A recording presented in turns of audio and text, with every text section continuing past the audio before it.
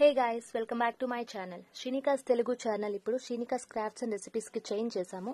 So ఈరోజు video ఏంటో చూసేద్దాం. సో ఈరోజు ఇంట్లోనే స్పైసీ చికెన్ కర్రీ ఎలా ప్రిపేర్ చేసుకోవాలో చూపిస్తున్నాను. సో అసలు లేట్ చేయకుండా స్టార్ట్ చేసేద్దాం. సో ఇందులో యూస్ చేసే ఇంగ్రీడియంట్స్ అన్ని సేమ్ మన చికెన్ కర్రీలోకి యూస్ చేసేవండి కాకపోతే ప్రొసీజర్ ఒకటి కొంచెం different. So let's get started. So ఒక గిన్నెలో నేను బాగా కడుక్కొని పెట్టుకున్న చికెన్ని తీసుకుంటున్నాను. అందులో కాస్త పసుపు వేసి ఉడికించుకుంటాను నేను ఒక ten to fifteen minutes. So మీరు ఈ స్టెప్ని కంప్లీట్గా స్కిప్ చేసేయచ్చు. బట్ నేను మాత్రం ఇలా బాయిల్ చేసుకోవాలని అనుకుంటున్నాను. సో అందుకని కొంచెం వితౌట్ వాటర్ ఏమీ వేయకుండా కొంచెం పసుపు మాత్రమే వేసి పీసెస్కి బాగా పట్టేటట్టు కలిపి ఒక టెన్ మినిట్స్ దీన్ని బాగా కుక్ చేసుకుంటున్నాను బాయిల్ చేస్తున్నాను. సో వాటర్ అనేది అసలు పోయట్లేదు. ఎందుకంటే చికెన్లోనే ఆల్రెడీ వాటర్ ఉంటాయి కదా అది యూజ్ అవుతాయి. సో ప్రొసీజర్లోకి వెళ్ళిపోదాం. ఒక మీడియం సైజ్ ఒక త్రీ ఆనియన్స్ తీసుకోండి. వాటిని బాగా కట్ చేసి మిక్సింగ్ బౌల్లో వేసి అందులో ఫైన్ పేస్ట్ లాగా చేసుకోండి.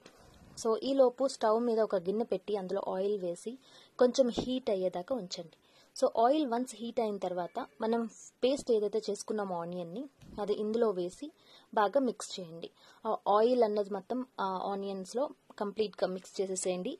ఆనియన్ ఫ్లేవర్ బాగా పోయేంత వరకు దాన్ని కాసేపు కుక్ అవ్వనివ్వండి సో ఈ లోపే మనం ఏం చేద్దామంటే సపరేట్గా ఒక బౌల్లో చిన్న సైజు టొమాటో తీసుకుందాము సో ఇక్కడ వీడియోలో చూపించిన విధంగా చిన్న సైజు టొమాటో అందులో ఒక టూ గ్రీన్ చిల్లీస్ తీసుకున్నాను. వీటిని మనం మిక్సీలో వేసుకొని ఫైన్ పేస్ట్ చేసుకుందాం. చేసుకొని పక్క పెట్టుకుందాం. సో ఇప్పుడు ఈ ఆనియన్ పేస్ట్ కుక్ అయిందండి. కొంచెం సో ఇందులో నేను జింజర్ గార్లిక్ పేస్ట్ వేస్తున్నాను. ఇక్కడ నేను two spoons ginger garlic paste use చేశాను. మీరు యూస్ చేసే చికెన్ క్వాంటిటీ అండ్ మీరు యూస్ చేసే ఆనియన్ క్వాంటిటీని బట్టి మీరు ఈ చికెన్ జింజర్ గార్లిక్ పేస్ట్ని యూస్ చేసుకోండి.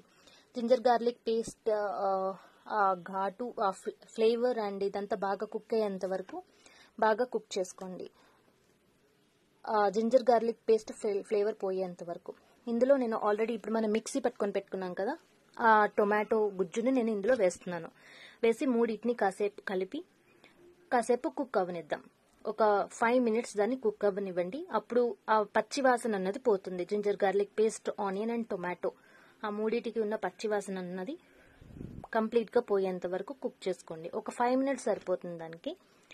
అండ్ ఒక మూత పెట్టేసి కుక్ చేసుకోండి. సో ఇప్పుడు ఒక ఫైవ్ మినిట్స్ తర్వాత చూద్దాం. మూత పెట్టేస్తున్నాను. సో ఇప్పుడు ఒక ఫైవ్ మినిట్స్ అయిందండి. నేను మూత ఓపెన్ చేసి చూస్తున్నాను. సో ఆల్మోస్ట్ కుక్ అయిపోయింది. ఇందులో నేను ఒక two table spoons red chilli powder use చేశాను. సో మీరు కారానికి తగ్గట్టు మీరు వేసుకోండి. అండ్ ఇందులోనే uh, టేస్ట్కి తగ్గంత ఉప్పు కూడా వేసుకోండి. నేను ఇక్కడ త్రీ బై ఫోర్త్ స్పూన్ వేశాను. సో మీరు మీ టేస్ట్కి తగ్గంత ఉప్పు వేసుకోండి. ఇందులోనే ధనియాల పొడి. మనం ఆల్రెడీ పట్టుకొని పెట్టుకుంటాం కదా ధనియాల పొడి. ఆ ధనియాల పొడిని కూడా ఇందులో వేయండి. ఒక వన్ టేబుల్ స్పూన్ ధనియాల పొడి వేశాను. అంతే గరం మసాలా. మీరు గరం మసాలా కాదు ఇంట్లో చికెన్కి సపరేట్ మసాలా యూస్ చేస్తారు అని అంటే ఆ మసాలా అయినా సరే యూస్ చేయండి. నేను ఇక్కడ గరం మసాలా ఇంట్లో ప్రిపేర్ చేసుకున్న గరం మసాలా అండి ఇది. సో ఇది నేను ఒక హాఫ్ స్పూన్ యూస్ చేస్తున్నాను. కొంచెం ఘాట్ ఎక్కువ ఉంటుంది అందుకని నేను హాఫ్ స్పూనే వేసాను సో మీ దగ్గర ఉన్న దాన్ని బట్టి మీరు యూస్ చేసుకోండి. సో వీటిని బాగా మిక్స్ చేసేసి ఒక ఫైవ్ మినిట్స్ మూత పెట్టేసి వదిలేస్తున్నాను. సో ఇది ఆల్రెడీ మనం కుక్ చేసుకొని పెట్టుకున్న చికెన్ అండి. ఇప్పుడు ఈ చికెన్ హాఫ్ బాయిల్ అయిపోయింది. సో ఈ పేస్ట్ చూద్దాం. సో ఈ పేస్ట్ కూడా ఆల్మోస్ట్ కుక్ అయిపోయిందండి. నేను ఇప్పుడు ఆ చికెన్ మొత్తాన్ని తీసుకొచ్చి ఇందులో యాడ్ చేస్తున్నాను. చికెన్లో నేను వాటర్ అనేది యాడ్ చేయలేదండి. ఇక్కడ వచ్చిన వాటర్ అంతా చికెన్లో ఊజ్ అయింది సో చూసారు కదా ఇందాక దాకా మనం ప్రిపేర్ చేసుకున్న గ్రేవీ ఏదైతే ఉందో అది చికెన్ పీసెస్కి అంతా పట్టేంత వరకు బాగా మిక్స్ చేయండి. సో కంప్లీట్గా కలవాలి. సో కలిసేంత వరకు మిక్స్ చేసి చేయండి. చూసారు కదా? అలా. సో మొత్తం ముక్కకి మన మసాలా అంతా పట్టిందండి.